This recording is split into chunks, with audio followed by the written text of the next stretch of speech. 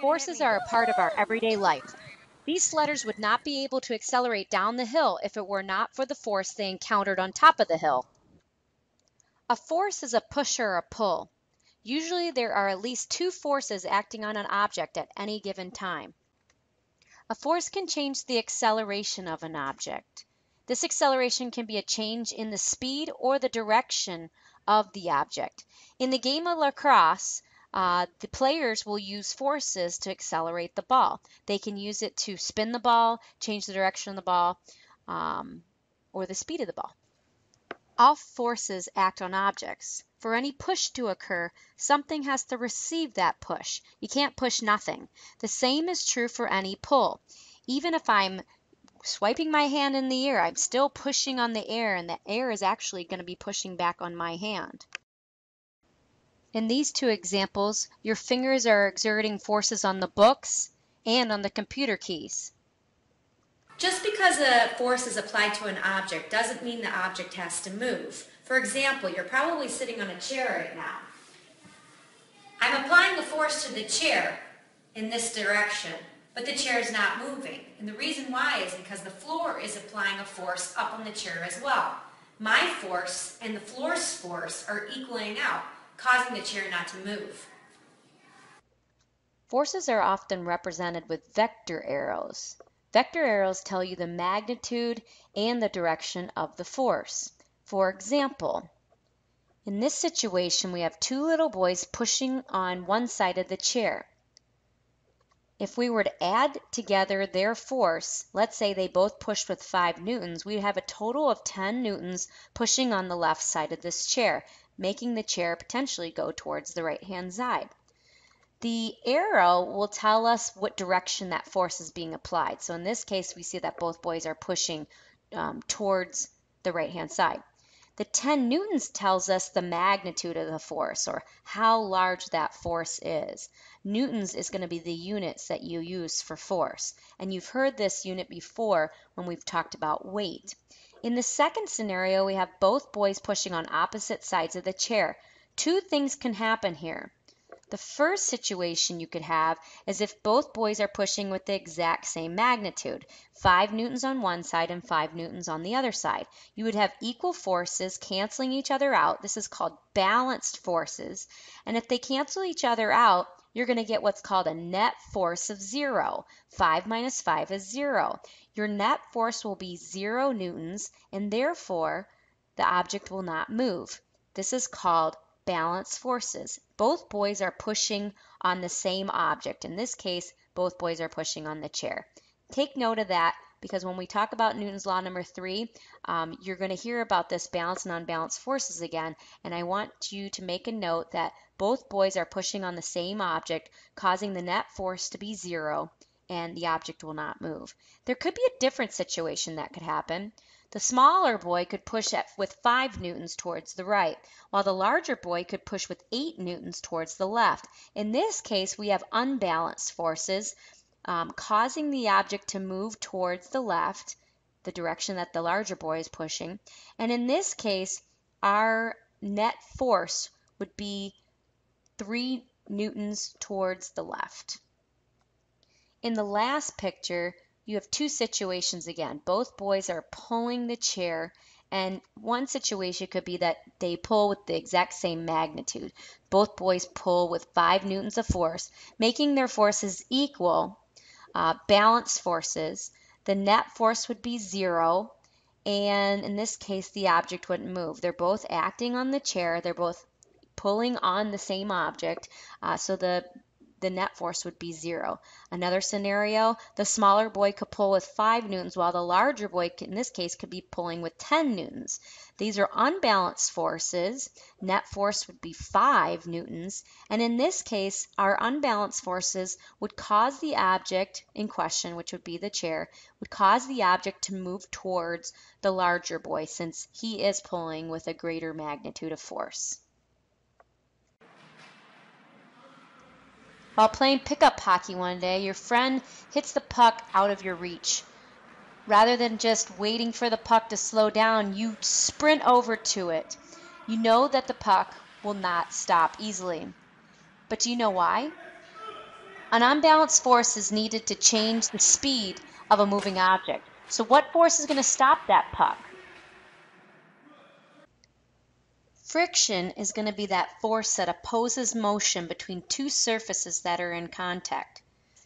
Friction can cause a moving object, such as a ball or a puck, to slow down and eventually stop.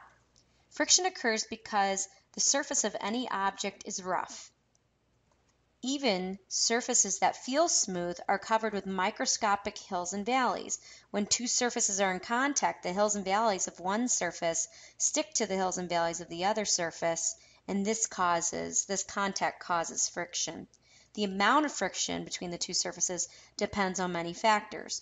Two factors include the force of pushing the surfaces together and the roughness of that particular surface. To show you another diagram of how friction works, take a look at this purple box. The pushing force would be the motion of the box, so I'd be pushing the box towards the right hand side of the screen.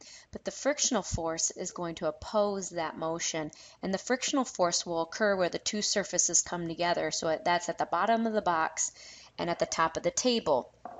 The amount of friction is going to depend on that force pushing the surfaces together. If you push down on this purple box, um, harder, the hills and valleys of the surfaces are going to come into closer contact. The closer the contact increases, the friction between the surfaces is going to increase. So if you push it down, you're going to really dig into those ridges and valleys and have and encounter more friction. Okay, so let's look at this scenario. If I push this wood block across the table, it's going to be encountering certain amount of ridges and valleys, right?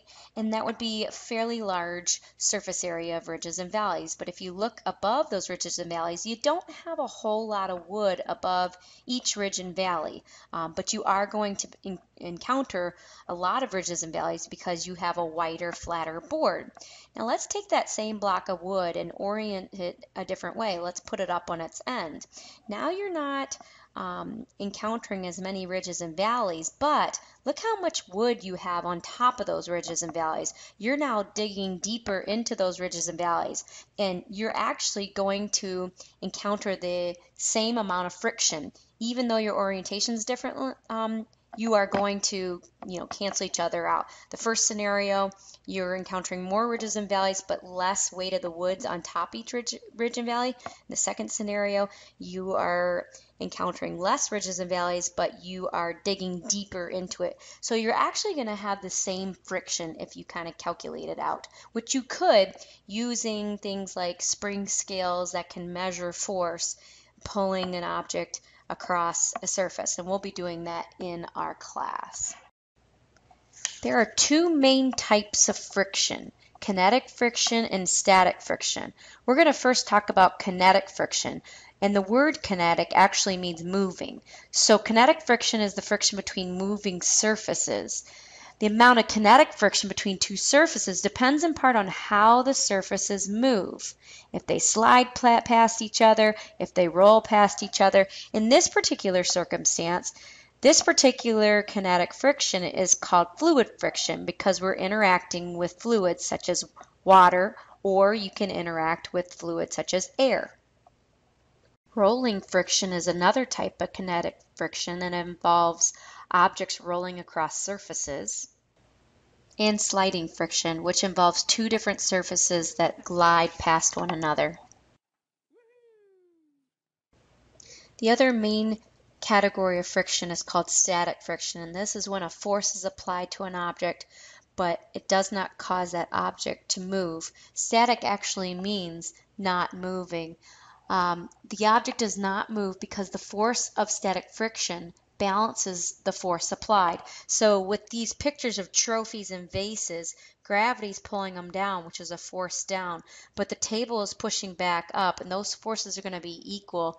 And um, the friction of the table is actually keeping that trophy in place or that vase in place, and the um, friction will balance the forces that are applied to the vase. Static friction can be overcome by applying a large enough force to move it. But if you just you know, didn't touch it, static friction would keep it staying where it is. Static friction is essential in life. Otherwise, we wouldn't be able to stand still. Things wouldn't be able to, uh, structures wouldn't be able to keep still. So static friction um, is very important and it will disappear as soon as an object starts moving. As soon as it's moving, now it's um, now it has kinetic friction. Okay, this is just a warning. Friction can be helpful or it can be harmful. So I'm going to really quick go through the pros and cons of how friction can be helpful or harmful. The pros are when you're writing on your paper with like your pencil, friction's helpful. Otherwise, we wouldn't be able to get a grip on our pencil and have our graphite hit the paper. There is friction involved in there, so that's how it's helpful. Um, in ice skating, it's kind of good, or hockey, it's good to have like low friction. Uh, we need a little bit of friction with the ice and the blade so we can stop, but there's going to be less friction, and that's how that sport uh, is designed. Uh, we also have a lot of friction with our cars, with the treads of our cars, with the engine in our cars. Um, this is important. It helps us brake, it helps us grip the road and not slide around. Um, friction is important as well as like on our bikes we need friction in order to ride our bikes but uh, for the con side, friction could be bad because we could have parts rubbing on each other in our engine and break our engine. Um, on our bikes, we could have the chain rubbing on other pieces of metal. That could be a con. I have other cons like my son always rips holes in his pants and his knees because of the friction with the pavement or he's sliding around on the gym floor. Uh, we get friction, we get holes in our socks from friction. That's a bad thing too when you rip through your sock.